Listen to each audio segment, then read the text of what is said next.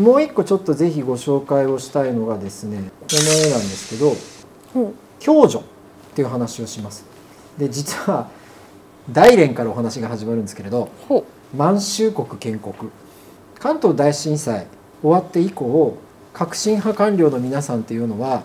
本当はあの東京をこういうふうに作り直したいっていうプラン持ってたんですけれど、うん、できなかったんでそれをどこでやったかっていうと大連でやったんですあそうなんだで実は国づくりもそうだったんです実は壮大な社会国家実験やってましてその時にベンチマークしたのが実はソ連だったんです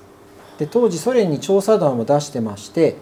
帰ってきた人たちの結論がハードは計画経済でいいけどソフトまでじあの計画経済にすると失敗すると。で従って民間事業のソフトの世界は自助だと。でハードの世界は公助で国だと。これが実はそのまま国交省と農商務省なんです。なるほど。なんとなくハードが国ソフトは民間って違和感ないんですけど、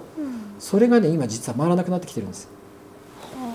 でそれがどういうことかっていうとこの間に共助っていうエリアを挟まないといけなくなってる。なるほど。例えば自動走行車両ってありますけど例えば某宅配事業者が某エリアでもうロボ猫なんとかってやってるんですね、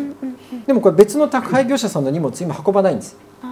でも本当は技術的にはできるしあとは大手のスーパーが重たい荷物を送り届けてあげるとか離れた2世帯の間で朝作った昼弁当を親世帯にタッパー届けてあげるソーシャルベンチャーとかみんなが本当はそのロボネコなんとか使えるんですけれど多分投資した人の回収考えるとものすごい高いお値段になっちゃうので、ないしはライバルにそんなの使わせてやるかって話になっちゃうんで普及しないんですね。で実は世界のスマートシティが止まってる理由はこれなんです。でそれが今の宅配2社スーパーソーシャルベンチャーの4社くらいだともしビジョンが共有できて、一緒にやろうよって話になればみんなで支え合わなきゃいけないから極力余計な機能は持たせずに最低限でも走行パターンはこうしようとか冷蔵庫冷凍庫比率はこうしようとかって綿密に作り上げるわけですね。これを共助のビジネスモデルっていうふうに呼んでるんですけれどもここのビジネスモデルが書けないっていうのが今実は世界中の悩みで。どっちかっていうと村社会日本はうまくやったら有利な立場にいるんじゃねえのっていうのがこの薄いデータ連携基盤。みんなで作るプラットフォームは変に機能リッチにせずにみんなで支え合えるものを作ろう。そのためにちゃんと山頂を定義してこのためにみんな一緒にやってんだからみんなで一緒に投資しよう。